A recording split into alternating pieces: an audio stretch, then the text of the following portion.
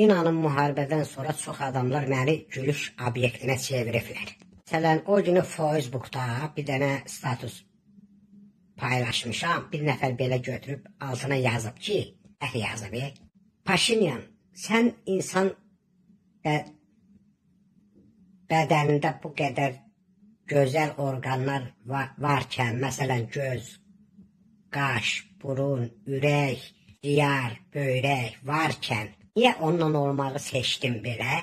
Ondan olmağı da deyəndə, məsələn, efir deyənə demirəm. O iki hərfi ilə başlayan deyirdi. Deyirdi, niyə ondan olmağı seçdin? Bax, bu cürə yazıb elə də orada. Belə şeyləri görürəm, çox xətrimə dəyir. Kövrəlirəm öz-özümə, düşünürəm.